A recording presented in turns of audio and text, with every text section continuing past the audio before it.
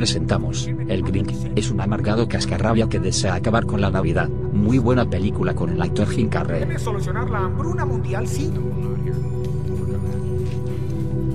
Presentamos, Vacaciones de Navidad. Clark, movido por un generoso y sentimental espíritu navideño, quiere sorprender a toda su familia con una gran fiesta.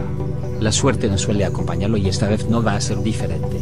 Una sucesión de disparatados desastres convertirán la esperadísima sorpresa de Clark en un verdadero caos. Muy bueno película se los recomiendo. Presentamos, Noche de Paz, una película diferente ya que en esta hay un grupo de mercenarios que entran a una casa de una familia rica, pero lo que no saben es que se encontrarían a un enemigo, el mismo Santa. Muy buena película. Y que cada uno se busque la vida.